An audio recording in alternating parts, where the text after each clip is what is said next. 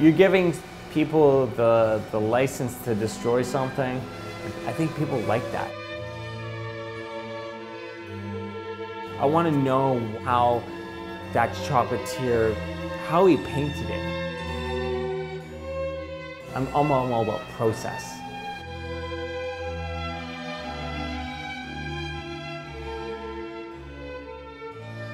Eight-year-old Brandon loved creating things and smashing it and creating it and smashing it and being like, well, that didn't work. Okay, let's try it this way. From start to finish, there's a lot of thought and considerations that go into it.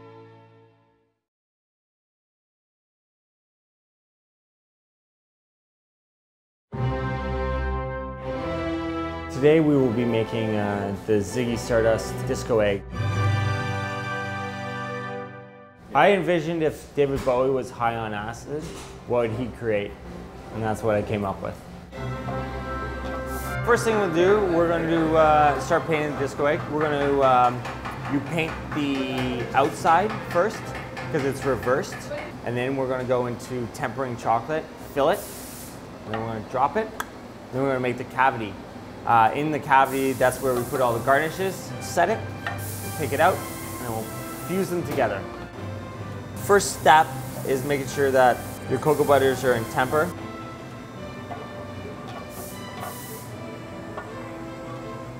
If you, if you start with some splatters and then you base coat it with a paintbrush, it really highlights all the other splatters.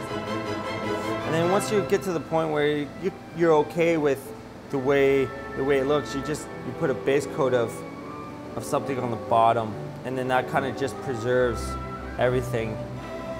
And the beauty about this egg is not one egg is the same.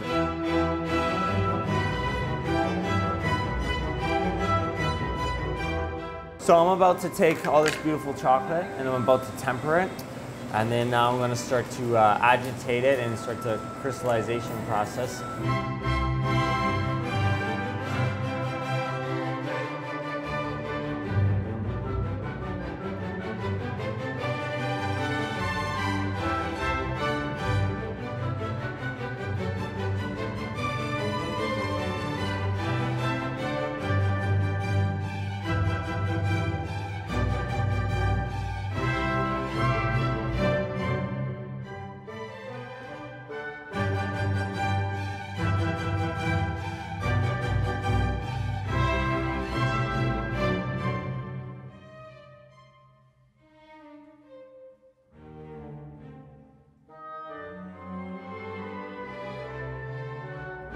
We have our, our, our cavity, and uh, you can see it's starting to like very quickly lose its, uh, its uh, uh sheen. It's becoming dull.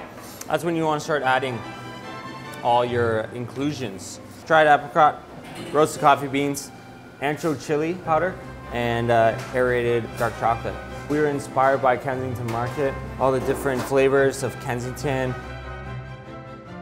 And that right there is the inside of a disco egg. Take it. You will have a nice, perfect sealed egg. And now we're going to smash it.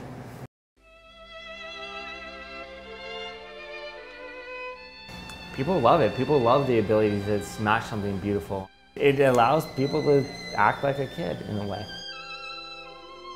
Great because it brings a theatrical experience back to the dining experience at a restaurant.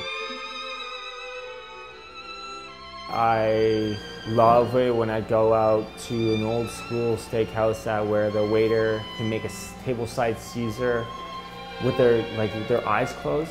That's something I never ever want to lose. And I think this is my tableside Caesar salad. I love working with chocolate is, is, is that it, if, if it doesn't work out, you just just melt it down and it's like it never happened. It's kind of like Lego. You don't like you don't like it, rip it apart, rebuild it. You don't like the disco egg, melt it down, redo it again.